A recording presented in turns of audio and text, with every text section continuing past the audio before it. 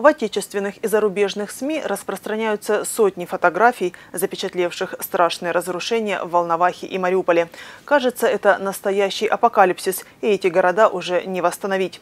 Но это, конечно, не так. Достаточно вспомнить историю Иловайска, который до сих пор остается под обстрелом укронацистов. Но его жители не собираются отчаиваться и опускать руки. Иловайск – город воинской славы. Это почетное звание городу железнодорожников было присвоено за стойкость, мужество и массовый героизм, проявленный защитниками Иловайска в борьбе за свободу и независимость республики. Восемь лет назад, в 2014 году, здесь произошло одно из ключевых сражений войны на Донбассе. Как известно, оно закончилось окружением и разгромом группировки вооруженных сил Украины в операции, получившей название «Иловайский котел».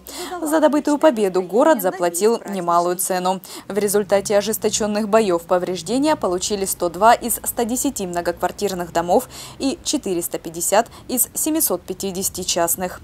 В 2015 году, согласно республиканской программе восстановления, на месте полностью разрушенного жилья было возведено 34 домостроения. Ключи от новеньких домов иловайчанам вручал первый глава ДНР Александр Захарченко. Владельцы частных домов, имущество которых так или иначе пострадало, пострадала и требовала восстановления, а соответственно и материалов для него, получали гуманитарный шифер и шлакоблок. И вот, когда казалось, что о хлопотах по восстановлению серьезно разрушенного вследствие боевых действий жилья можно забыть, украинская армия нанесла по Иловайску новые удары. 27 марта вследствие разрыва снаряда в разной степени пострадало 37 жилых домов.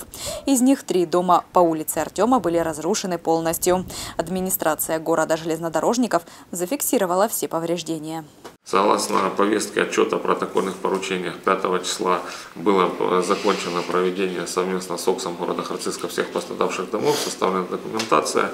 Также на сегодняшний день были отработаны все э, заявки, которые поступают от населения в результате последних боевых действий.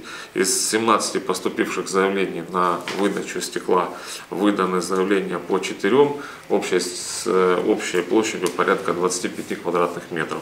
Работа продолжается стекло нарезается, поэтому по остальным заявлениям будет выдано по мере э, готовности. Чтобы временно прикрыть хотя бы дыры в крыше, жильцы пострадавших домов попросили предоставить им какой-нибудь водонепроницаемый материал. В администрации выделили для этих целей 144 квадратных метра специальной тарпаулиновой пленки, что позволило полностью удовлетворить 4 заявки из 5. Мы направили заявки в МЧС, во все инстанции по поводу леса, по поводу строительных материалов в виде шифера и гвоздей. Ожидаем ответа. Если таковые будут, нам пообещали предоставить.